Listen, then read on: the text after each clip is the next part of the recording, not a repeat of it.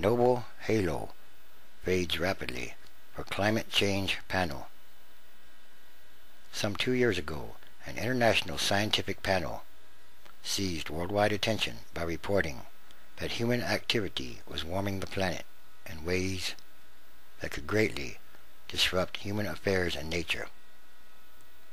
The work of the group, the Intergovernmental Panel on Climate Change, shared the 2007 Nobel Peace Prize with former Vice President Al Gore. After two decades of delivering climate reports to the world without fanfare, it suddenly had a wide following. But as the panel gears up for its next climate review, many experts and specialists in climate science and policy, both inside and out of the network, are warning that it could quickly lose relevance unless it adjusts its methods and focus.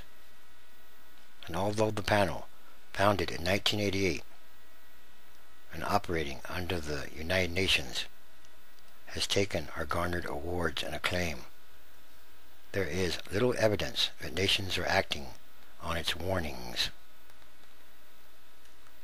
Emissions of heat-trapping gases have grown and are still growing rapidly, and talks about a new climate treaty remain largely deadlocked or stalled. In other words, it's about money. The nations of the world, they don't really want to spend the money on real climate change. Because the world is in a economic crisis. They could say, well, it might hurt the economy if they taxed they taxed it, put taxes on carbon use. Like grabbing the tail, the tail of a tiger. My IPCC has gotten the world's attention, but now the challenge is to get the tiger to head in the right direction, said a longtime contributor to panel reports and the chief scientist for the Climate Institute, a nonprofit group. For the IPCC, this means providing guidance that will minimize climate impacts and maximize investments in a prosperous and sustainable future. In other words, for the long term, for the future generations, for the kids. Scientists and environmentalists assert that the reports by the panel are watered down by a requirement that sponsoring governments approve its summaries line by line. Some experts worry that the organization charged with assessing fast evolving science or knowledge has failed to keep pace with an explosion of climate research.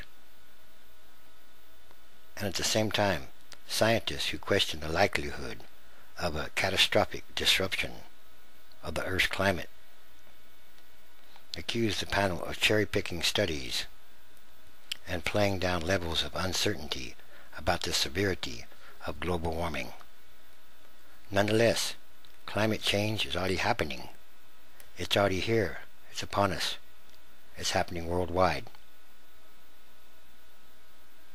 Yes, the weather is changing.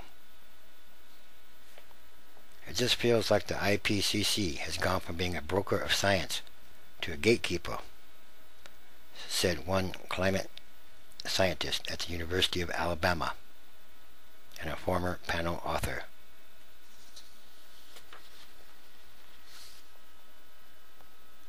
Under its charter, the group could not recommend a course of action to cut climate risks. It has laid out specific paths for emissions of greenhouse gases that governments would need to follow to avoid overheating the planet. But Governments need not follow those paths. In other words, they're just recommendations.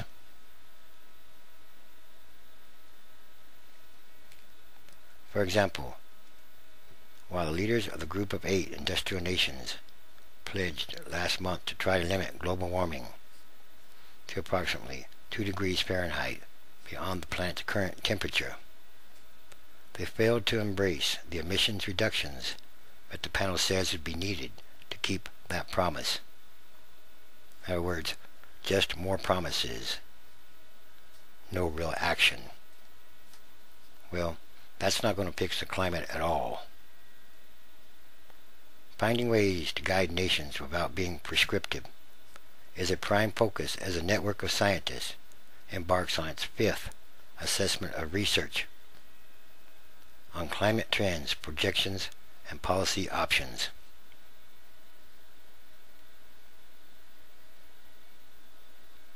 Shying away from discussing possibilities because there is low scientific confidence can imply there is also a low probability they may occur.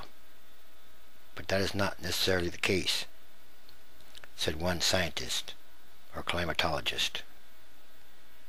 More attention will be devoted to research on the potential for dangerous, very dangerous changes in ocean chemistry as the seas or the oceans absorb billions and billions of tons of carbon dioxide. Yes, that will definitely change the chemistry. Another focus will be large-scale artificial methods of countering called geoengineering. The panel will also try harder to identify anticipated impacts of climate change on certain regions and options for fostering re resilience in especially vulnerable places like sub-Saharan Africa. Tens of billions of dollars, if not trillions dollars in aid, will be needed as explosive population growth and shifting climate patterns make poor nations even more susceptible or vulnerable, according to a variety of studies. Some specialists in climate modeling warn that governments may have overinflated expectations that science can reliably forecast how global warming will play out locally. In other words, climate scientists or climate, climate science is not an exact science. Well, of them are in some kind of way. Not everything is known about climate science or global warming, but nonetheless, something's happening to the Earth's weather. Just look around. Other scientists involved in shaping the next report that won't come out for a number of years worry about the runaway growth and peer-reviewed studies of climate change is making a broad, fair assessment of such research impossible.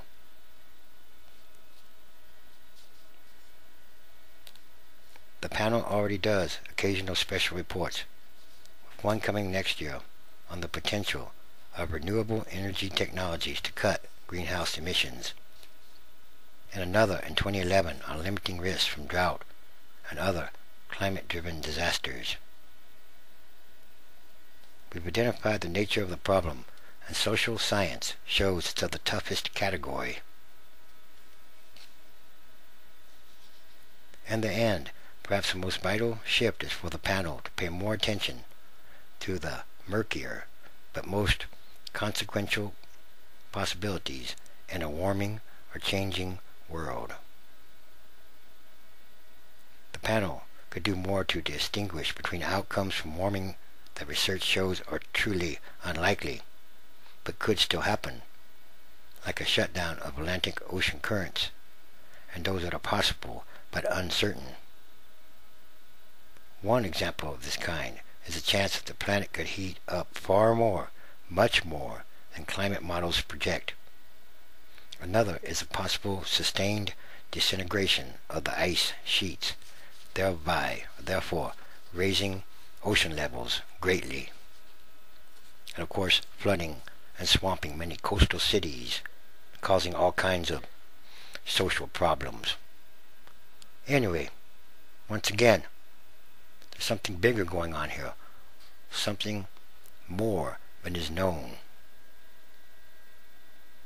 The more that you see, the more that you know. And the more that you know, the more that you see. Anyway, these are all signs of the end times transition days. And there are many signs happening daily all around the world.